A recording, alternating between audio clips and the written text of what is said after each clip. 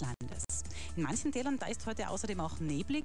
Am Nachmittag, da wird es dann nochmal eine Spur milder. Bis zu 11 Grad bekommen wir heute noch. Dann Tirol Wetter. Global Business. I'm Peter Day. For the past 20 years, the pop music industry has been in crisis. Recorded music was one of the first industries to be horribly disrupted by the internet. Sales of compact discs plummeted. Verkehrsservice. Immer schneller, aktueller.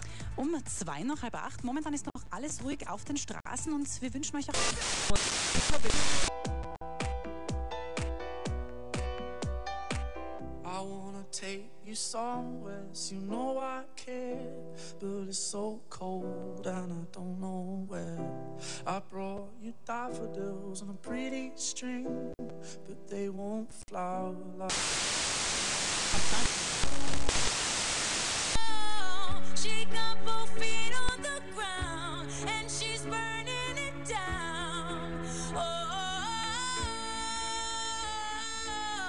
She